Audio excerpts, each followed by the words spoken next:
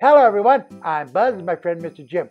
What classic movie are we going to talk about today? Well, before we start that, Buz, uh, we got a card from somebody that you allegedly offended them. what was their name? Uh, It didn't say. It just said that you said something that, that, that offended them. Well, I just want to say that I had no intention of offending anyone in particular.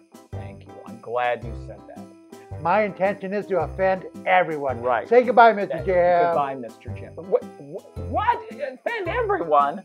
Yeah, they all deserve it.